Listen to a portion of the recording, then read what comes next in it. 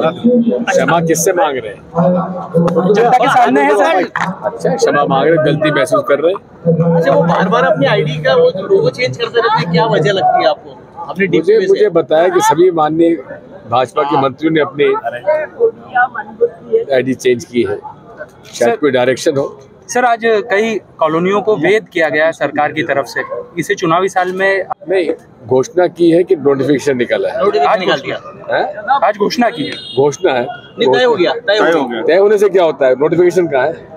Sir ये 2000 के note घोषणा तो कर चुके हैं हज़ार बार अब आज एक दो हज़ार के नोट बंद करने का जो मामला है सर इस बारे में। क्या कहेंगे सर? अरे नोटिफिकेशन दिखाओ मुझे।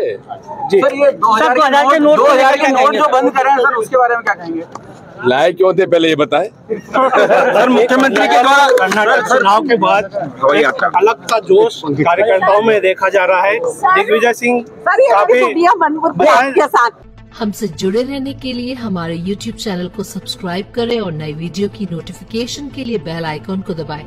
अगर आप ये वीडियो Facebook पर देख रहे हैं तो लाइक ज़रूर करें और ज़्यादा से ज़्यादा शेयर करें। धन्यवाद।